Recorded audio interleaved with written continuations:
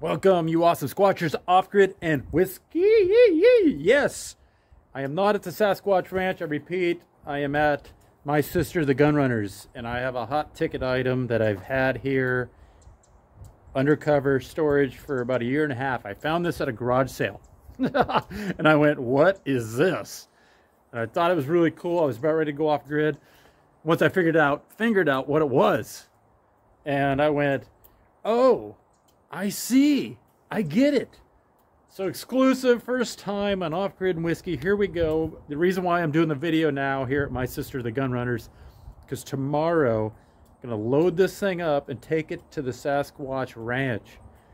And I'm going to need some hard pipe-hitting bros to take it. So they don't want to be on camera, so I need to show it now. The pre-funk. Here it is. You can see the stack right there. yeah, right here. You see it? Oh, I got to bend over. there it is.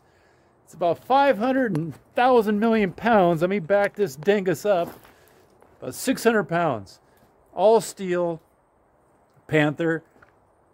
What is it? What's your guess?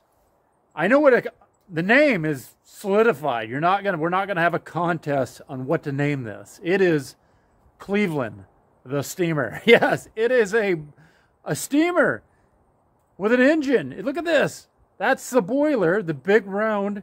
Let's get another angle, shall we? Yeah, there. That's a boiler. There's the smokestack. There is the piston. There's a one piston show. You build a fire. Right in this firebox here, you put water in first. There's a sight glass right there. Build a fire. That creates steam which runs this big piston right here, which turns that wheel. And guess what you do? You put a belt. You put a different wheel on. I got to put a, a V belt wheel. And bigger. The bigger, the better. More uh, rotations per 250 angstroms of 1.21 gigawatts. Anyways, connects to an alternator. Just like in your car, that alternator goes to a battery. You charge batteries instead of solar and wind and turbine, oh mine, uh, this can charge batteries. Oh, whoa, I really might have overdone the bend over. that didn't sound good, but I'm excited. This is Cleveland, the steamer. Look at this thing.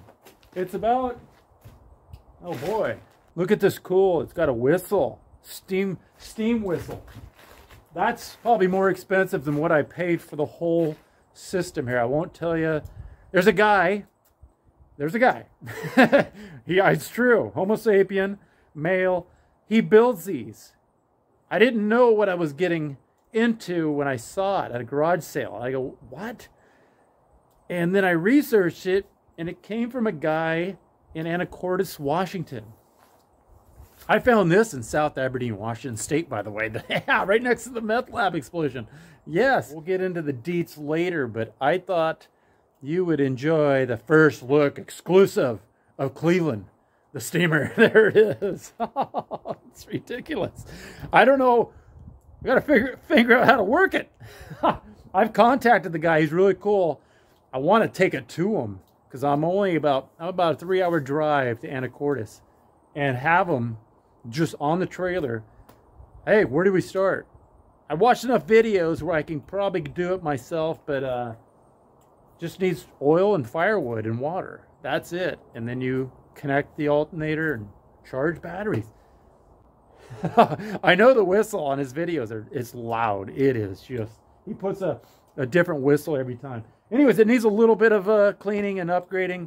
Uh, I need a pressure gauge. These steam engines are safe, by the way. Everybody thinks, oh, I'm going to blow myself up. No, it's a myth. Just like Milli Vanilli, they blew themselves up. No, it's not true. All right.